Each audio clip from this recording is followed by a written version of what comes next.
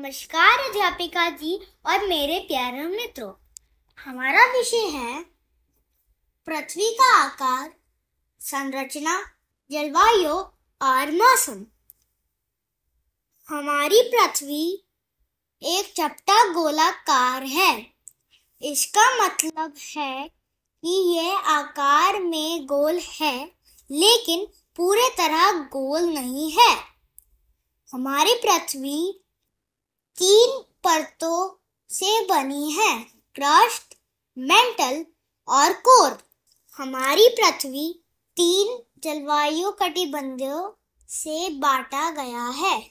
उष्ण कटिबंधीय, शीतोष्ण कटिबंधीय, शीत कटिबंधीय। हमारी पृथ्वी पर कुल पाँच तरह के मौसम होते हैं। बसंत ऋतु, ग्रीष्म ऋतु, वर्षा ऋतु शरद ऋतु और शीत ऋतु। पृथ्वी हमारे सौर मंडल का अकेला ग्रह है, जो जीवन को बनाए रखने के लिए उपयुक्त है।